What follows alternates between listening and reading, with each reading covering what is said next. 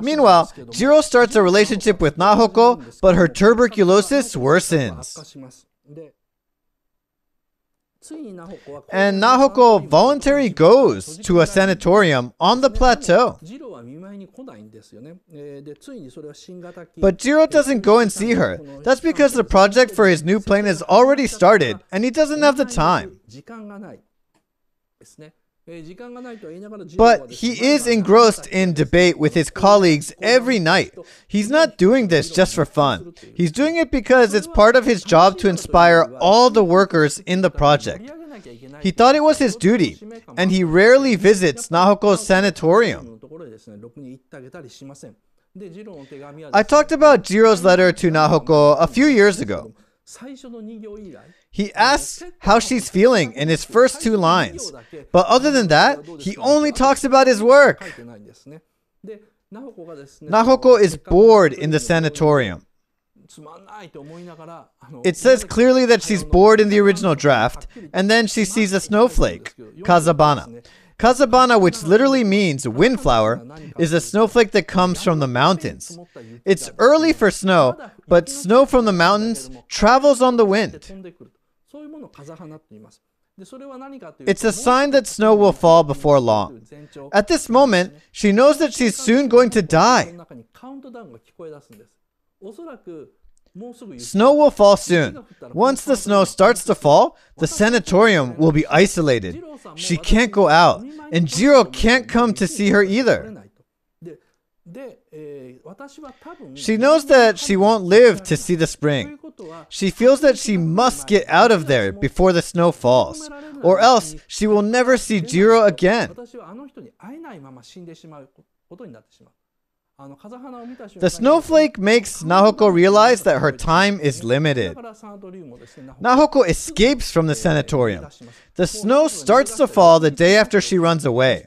So it was a close call.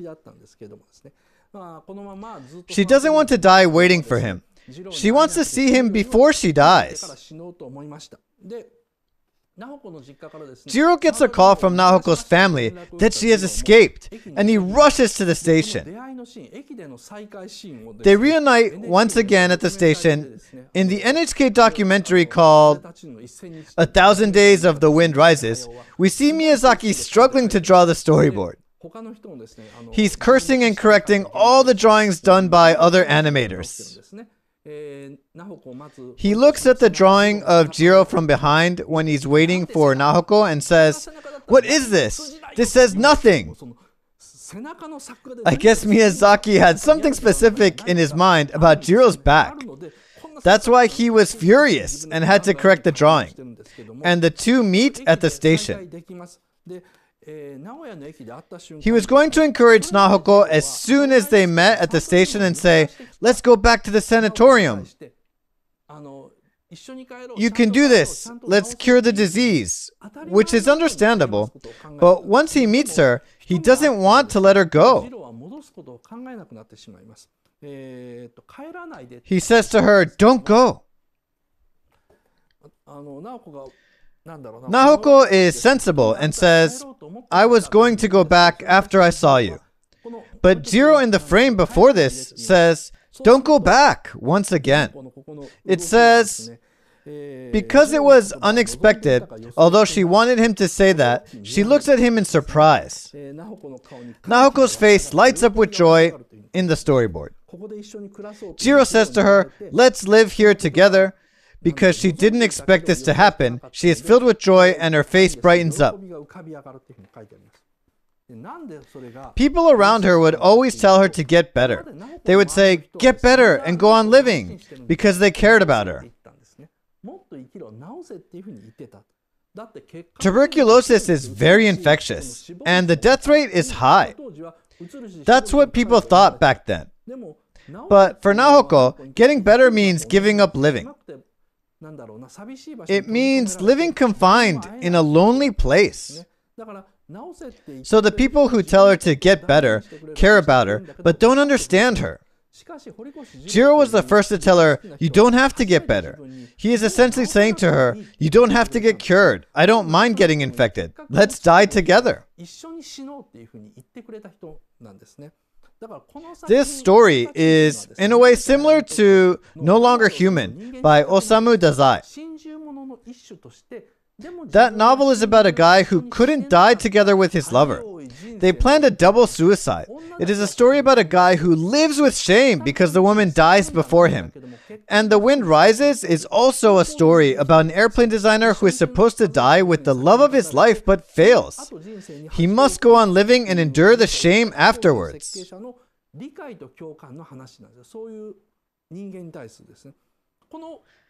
If you realize that this is a story about a double suicide, you'll understand this tobacco scene. The two go to Kurokawa's house and have a private wedding. That night, Nahoko says to Jiro, Come here. When Jiro hesitates, she cuts in and says, Come here, again, lifting the futon. She says, Come here twice in this scene, and this is linked to the last scene. So remember that. Why does she say, Come here twice? On the storyboard, you can see the connections between this and the last scene. They tie the knot, but Jiro comes home late every night, and at some point, he starts working at home. Before that, no matter how busy he was, he never worked at home. But in order to spend more time with Nahoko, he has no choice. Nahoko in bed asks Jiro who is working beside her to hold her hand. Jiro takes her hand in his left hand and keeps tapping the calculator with his right. He is excited and says, I think it's going to work out. I can make it 20 grams lighter. He's struggling with his work at the company, but when he works at home holding her hand, everything goes well.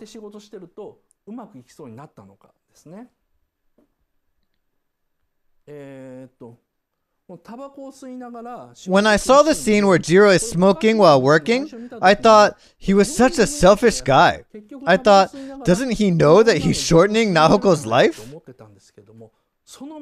But I was wrong. When Jiro says, I want to smoke, will you release my hand? She says, no, which is unusual for her. She never refuses what Jiro wants. So Jiro smokes with one hand. Jiro smokes when his work is going well. It is a sign that his work is on track. His brain becomes more active when the work is going smoothly. That's why he starts to smoke. They're creating their own plane together, holding each other's hands. Nahoko's blood flows through Jiro's body and it eventually breathes new life into the Kyushi single-seater fighter plane.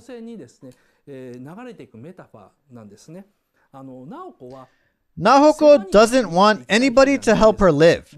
That's not what she wants. She wants to be the one to help. She wants to take care of Jiro. She wants to help him create planes. But Jiro doesn't realize her intentions. So it is similar to the story of Twilight Crane. She is like the crane weaving the fabric with her own feathers and telling the old couple never to enter her room. She weaves her own life. That's why she doesn't let go of his hand. That's because she knows that her life is being used to create the Zero Fighter planes. That is the only way she can share life with this man who knows nothing but planes. Of course, he can always compliment her and say she's beautiful, but she's more than that. She's an active person. She knows that to be part of this man's life, she has no choice but to help him make zero fighter planes. If Naoko didn't escape the sanatorium, the Zero Fighter planes would never have been completed. There's a scene where Jiro says, I owe it all to you. I thought first that he was thanking her for supporting him, but this is actually a dark fantasy. As if they were in the demon world, her pulse flows through Jiro's body and they create a plane together, the fruit of their love. But eventually, this Zero Fighter plane destroys Japan. The structure of the story is pretty extreme. I divided the film into blocks. Then I gradually began to realize that there was a connection between each block and the next. They're all connected. Naoko never consults Jiro about what to do. I am going to the sanatorium. I am escaping the sanatorium. I am going back to the sanatorium once my job is done. She never consults with Jiro about her decisions. She decides on her own. She's very independent. She decides to stay beside him until the plane is completed. And as soon as her job is done, she goes back to the sanatorium because there's nothing else to do. Kurokawa's wife says she only wanted to show her beautiful side, but she doesn't understand Nahoko fully. She saw half of Nahoko, but the other half of Nahoko says, I simply have nothing more to do. She wanted to be with Jiro because she wanted to help, not just because she loved Jiro. She has guts and she's extremely active, just like all the other heroines in Miyazaki films. Miyazaki is objecting to Isao Takahata's claim that we no longer need fantasies. This is a dark fantasy. He's saying that reality is the fantasy. A poor country yearning for planes. A woman sacrificing her life for her husband. If this isn't fantasy, what is? This is his powerful antithesis against Takahata's thesis. After Jiro completes his plane, Nahoko leaves him. Kurokawa's wife has a woman's view, but I think Nahoko is a very strong person. Jiro remembered Okinu, who he met during the Great Kanto earthquake. That's because she was pretty. Nahoko knows that Jiro didn't remember her because she wasn't pretty enough. But now, because Jiro tells her that she is pretty, she concludes that he'll remember her even if she goes back to the sanatorium. That's why she goes back.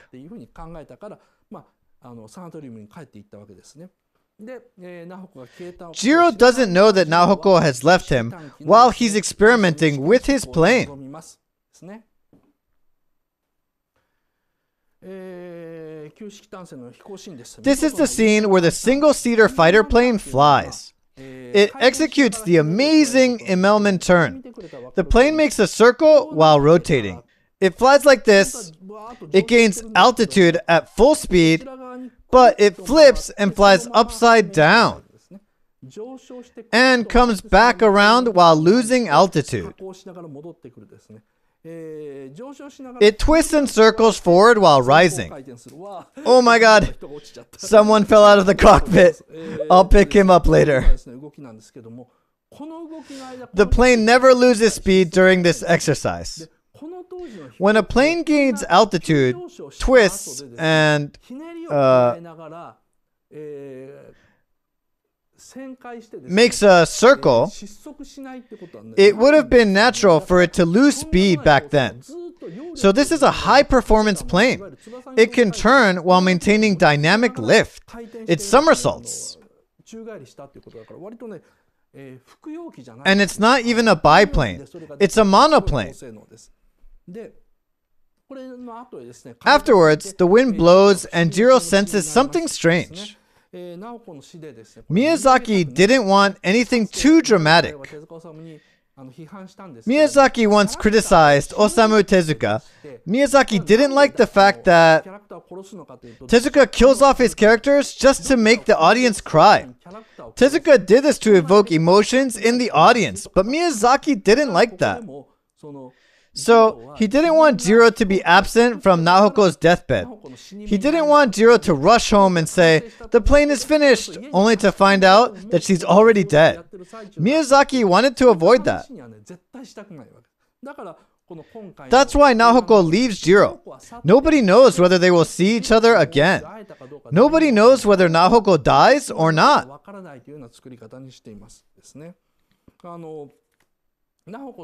It's a story about the death of Nahoko and Japan. Jiro loved both of them because of their beauty. He creates Zero Fighter planes and tries so hard to keep Japan alive, but he fails. Eh, he fails to save Japan, he fails to save everything that was beautiful to him. In the opening scene, Jiro tries to save the girls in the spinning mill. He tries to save the beautiful landscape of the rice paddies from the attack of the German airship, but he fails miserably. So, this opening sequence is a summary of the whole story.